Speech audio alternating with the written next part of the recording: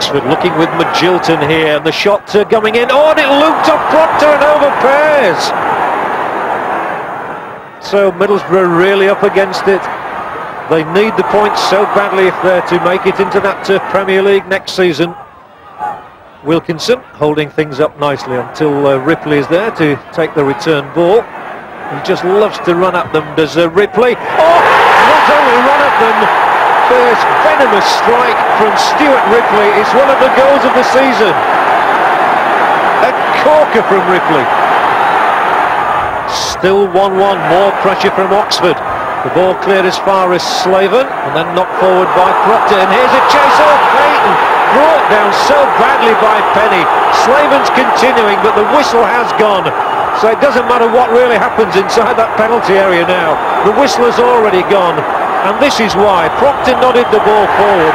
Payton tried to turn Penney just inside his own half. And Penney is sent off. So a free kick then for Middlesbrough. The ball laid forward, a nice little flick back, and Andy Payton is in! Payton, 2-1 for Middlesbrough.